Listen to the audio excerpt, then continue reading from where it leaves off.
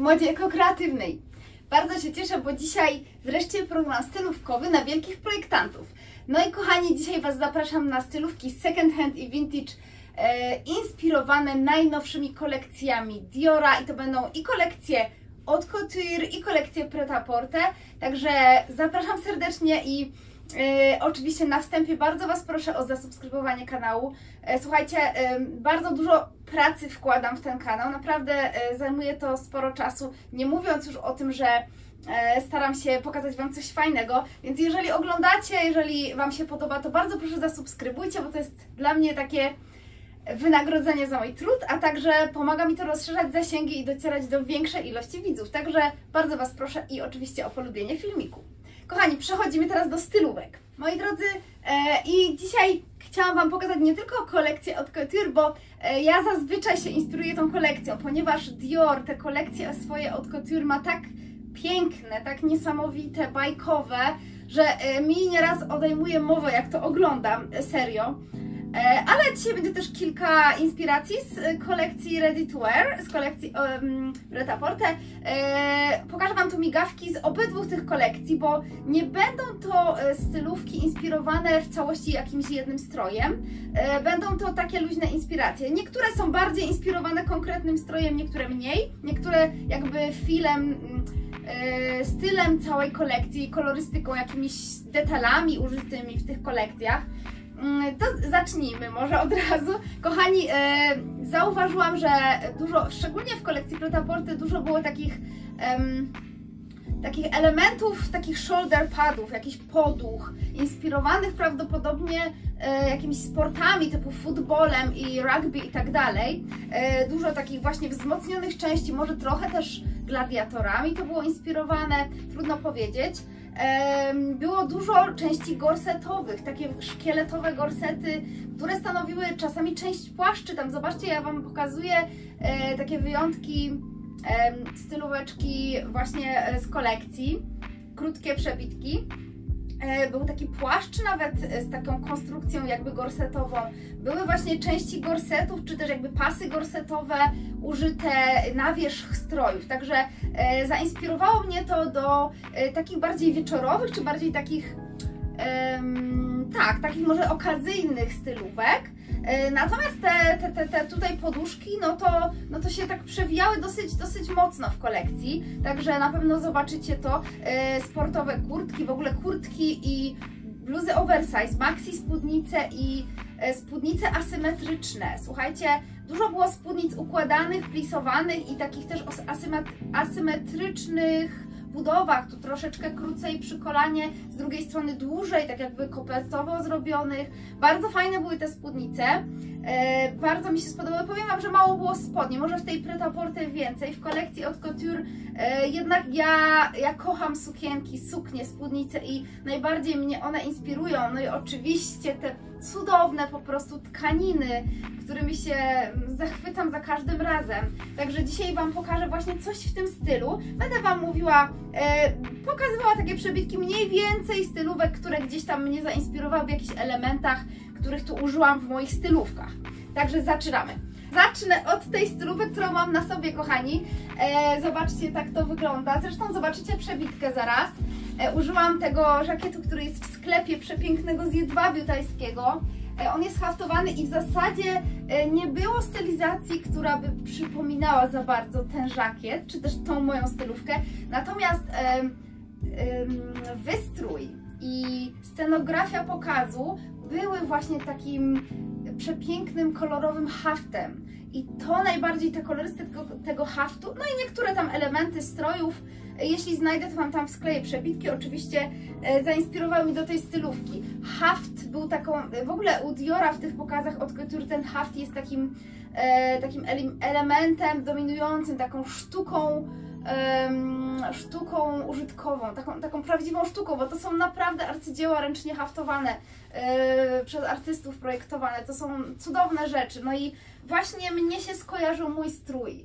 E, Kolo, kolory takie wyraziste, ten żakiet ma przepiękne zestawienie kolorów, a spódnica jakby jest jego odzwierciedleniem. One nie są nawet zbyt podobne, ale zauważcie, że zieleń żakietu odzwierciedla się w elementach też tej spódnicy i odwrotnie, e, czerwień, rudość i niebieskość e, elementów spódnicy odzwierciedla się też i w żakiecie.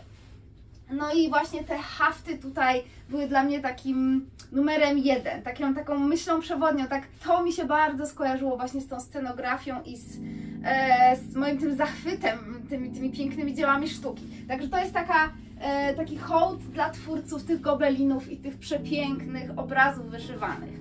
Aczkolwiek oczywiście też tam stylówki mm, były takie powiedzmy które można by uznać za podobne. Dużo było haftowanych płaszczy i pięknych narzutek i zobaczycie też tutaj trochę inspiracji z tego. Użyłam w tej stylówce też takiej torebki, którą sobie zrobiłam. E, znaczy to była torebka taka, jak tu widzicie, taka trochę mm, jakby powiedzmy gobielinowa. Naszyłam na nią takie barokowe ozdoby i kwiat. No i teraz czasem używam jej właśnie do stylówek, a czasem nawet na wyjścia, jeśli pasuje mi. I tu mi się też skojarzyło e, kolorystycznie i właśnie tak te tkaniny tutaj e, z takimi wzorami przepięknymi, wyhaftowanymi mi się skojarzyły z tą torebką. Kochani, e, no to to jest jedna taka stylowa, jakby całościowo uwielbiam kolekcję Diora Haute Couture i to jest wyraz tego. Idziemy dalej. Kochani, pokażę Wam na początek stylówki e, ze spódnicą Jägera. Mam taką maxi spódnicę z wełny i to, się, to stylówki są zarówno inspirowane właśnie kolekcją od Couture, jak i tą pierwszą kolekcją, e, tą Preta-Portę, którą, um, której tam, w której tam były takie plisowane spódnice. E, ale w sumie jedna była taka stylówka, którą się najbardziej kierowałam, ale nie jest to może w 100% oddane. Ta moja spódnica jest maxi, właśnie plisowana, długa, i do tego tam była taka sportowa kurtka i jaskrawe buty e, bodajże. Ale ja nie użyłam tutaj jaskrawych butów, użyłam takie neutralne buty, bo jak mówiłam, te stylówki to nie jest żaden e, jeden do jednego oddanie. Użyłam e, tej właśnie spódnicy, e, takiego swetra, um, swetra apricot z wiskozy, który miał też takie wzory jakby dywanowe na sobie oraz właśnie takiej, słuchajcie, bomberki, bo tam też było coś w rodzaju bomberki, E, z Zary, w takie wzory i w takie dosyć podobne kolory.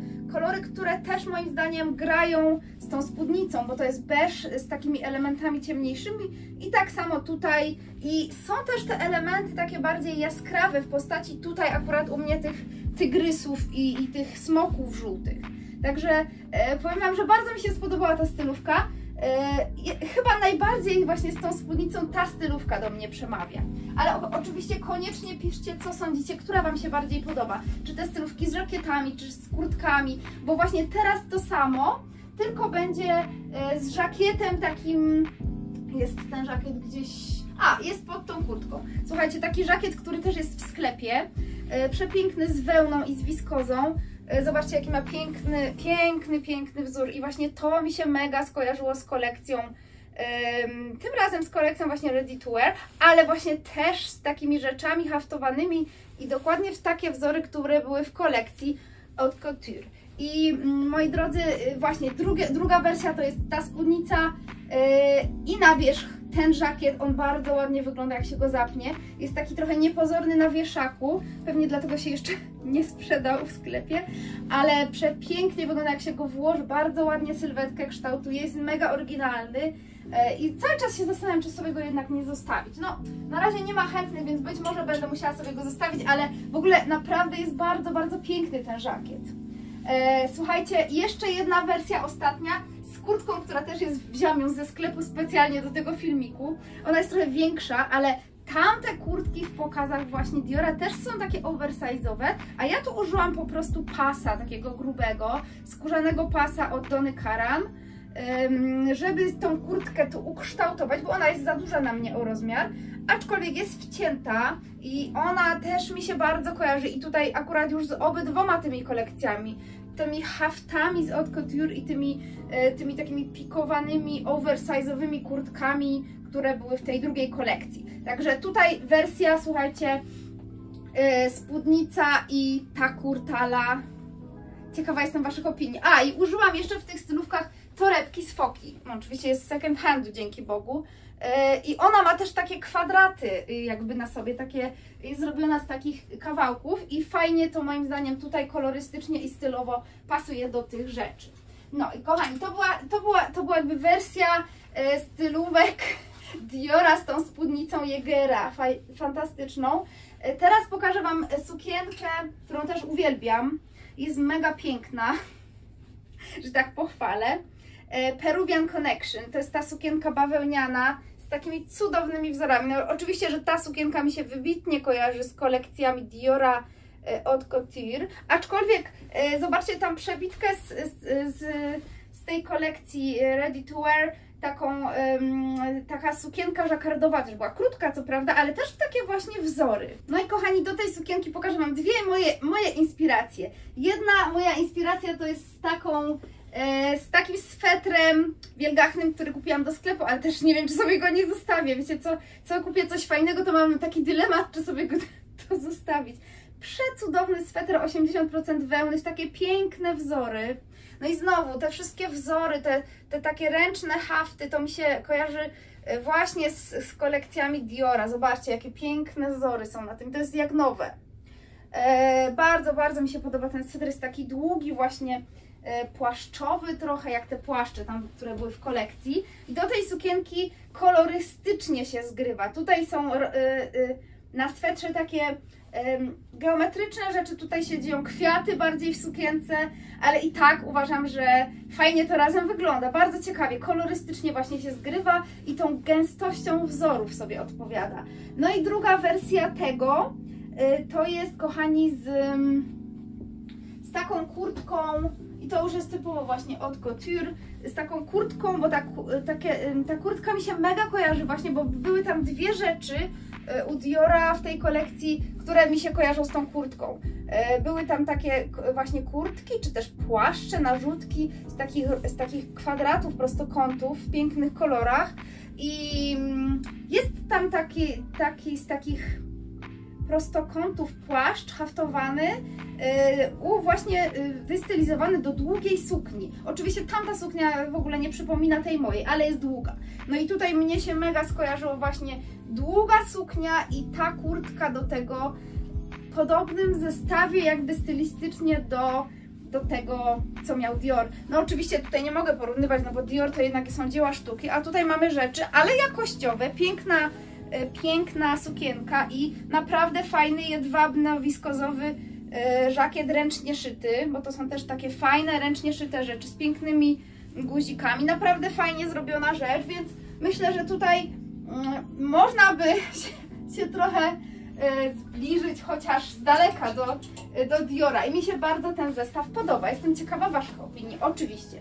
Kochani, teraz coś szalonego, właśnie z kolekcji Preta Porte.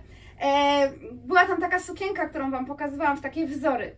E, I tutaj mi się kojarzy moja spódnica wzorami. Zobaczcie, mam taką spódnicę, którą sobie sama przerabiałam też, żeby miała właśnie te marszczenia tutaj.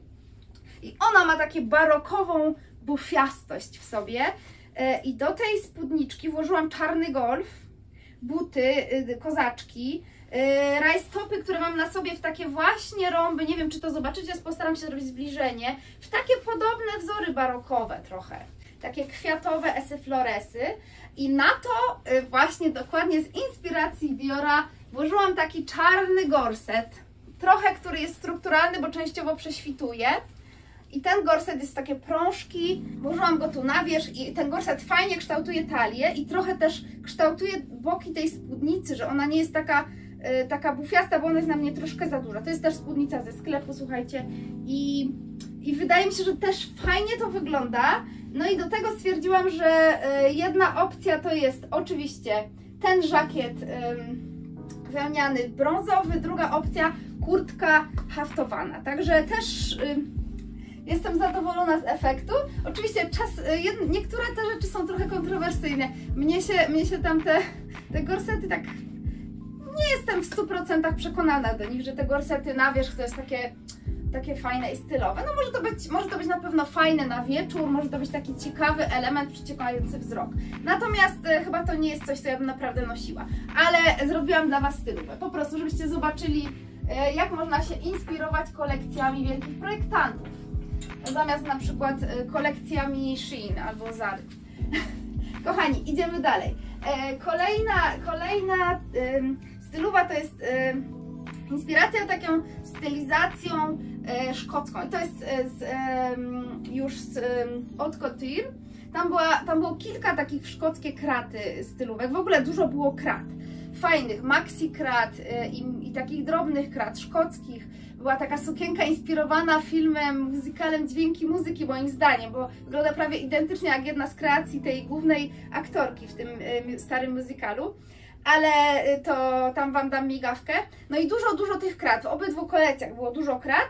Postanowiłam zestawić tą wełnianą sukienkę, którą już widzieliście w stylówkach E, I na wierzch włożyłam taką wełnianą koszulę. Ona jest z dużym, dużym procencie z wełną. Bardzo, bardzo, bardzo artystyczna koszula z wełny, asymetryczna. E, jest taka właśnie, jest taka właśnie artystyczna, jest taka e, designerska ta koszula i spięłam ją w dodatku takim pasem jedwabnym szkocką kratę, to jest pas frakowy, ale go tutaj obcięłam i używam go z broszką jako taki właśnie element, który mi kształtuje talię. No i bardzo mi się też podoba ten zestaw. E, ciekawa jestem też oczywiście Waszych opinii. Ja uważam, że jest naprawdę, naprawdę to ciekawe, takie inne. E, ta koszula może być bardziej rozpięta, mniej rozpięta, tam Wam pokazuję przebitki um, i właśnie w bardziej zapiętej na szyję i w takiej bardziej rozchełstanej. Aczkolwiek koszula jest tak czy inaczej bardzo skromna, bo to jest koszula taka... Oczywiście, no można by się rozpiąć całkiem, ale po co? Słuchajcie, idziemy dalej. E, dzisiaj chcę, żeby ten program nie trwał 40 minut e, i mam nadzieję, że mi się to uda. Słuchajcie, następna następne dwie stylowy to już będą stylizacje bardziej wieczorowe. No i jedna jest bardziej stylizowana na tą korekcję mm, ready to wear. E, I to jest ta sukienka, którą ostatnio w holu pokazywałam z, takimi skórzanymi właśnie padami tutaj, z takimi poduchami. I tu jest przepiękna z, z lnu i i z liocelu na samym dole. Ona jest bardzo nowoczesna, taka lekko asymetryczna i oczywiście co? Włożyłam na nią gorset, no bo chciałam tutaj oddać ducha Diora tegorocznego. Także taka moja wersja wieczorowa, nowoczesnej sukienki, do tego kozaki, bo już nie zmieniałam tych butów. Stwierdziłam, że spróbuję pójść tym kluczem, że wszystko w kozakach. Y, I i do tego właśnie ten gorset i można torebkę, tutaj też w jednej wersji mam taką e, torebkę małą, twardą, pudełeczkową. Także taka wersja. Tadam! Przepiękna sukienka e, i ta sukienka oczywiście jest u nas. E, mam nadzieję, że znajdzie właściciela, bo jest cudowna. Po prostu jest, jak widzicie, bardzo, bardzo w trendach. Ok, idziemy dalej. Kochani, mam teraz... E, Zestaw y, też inspirowany tymi gorsetami, a też y, kształtem tych niektórych ciuchów, bo zobaczcie tam przebitki właśnie tych gorsetowych kreacji. Jest też taka kreacja z taką spódnicą, która ma takie y, taki kształt jak ta moja, zobaczcie. Tam jest, pokazuję Wam w przebitkach, a tutaj trochę obraną moją spódnicę i to jest nowa z metką, słuchajcie, sukienka y, dwuczęściowa jakby, ale połączona. H&M od Comme z wełną, więc jest po prostu, chyba nawet 100% wełny jest spódnica i tu jest naturalny aksamit. Przepiękna eseczka e, i ona ma taki dół właśnie i w dodatku co, jest modna, bo ma tu wycięcia, rozcięte plecy i jeszcze ma taki tutaj gorsetowy przód i w ogóle tak jakby góra tej e, sukienki jest gorsetem. Nie jest usztywniana, broń Boże, ale ma taki kształt gorsetu. E, I do tego, do tej sukienki jest trochę sama, a trochę włożyłam taki żakiet, który też się tu kończy takim, e, żakiet vintage, który też się kończy takim takim dzióbkiem z przodu jakby, z takimi szerokimi, oczywiście bardzo teraz modnymi rękawami i słuchajcie, ten zestawik e, też, też jest w sklepie, jak się bardzo waha, czy go sprzedać, bo, bo to jest e, perełeczka. Ten komplet kondeżarką od H&M to jest nówka z metką i jest, jest po prostu przecudowny. Już nie mówiąc, że mi się bardzo obrał, ale no wiecie, mierzyłam tutaj. W każdym razie taki piękny wieczorowy zestaw na dziś. Kochani, no, e, e, kilka stylizacji, ale za to wydaje mi się, że ciekawych, innych. E, Dużo inspiracji, dużo, dużo radości miałam z tych stylówek i bardzo serdecznie Was już teraz pozdrawiam i zapraszam na kolejne programy stylówkowe. No i oczywiście zapraszam Was na live'y, live e, kolejny już jutro. Także będą jakieś tam nowości w sklepie, możecie pytać. Nie ma problemu. Kochani, i piszcie koniecznie, piszcie, które stylówki Wam się najbardziej podobały, e, które Waszym zdaniem odzwierciedlają ducha Diora.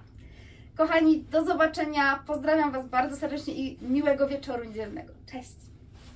Pozdrawiam.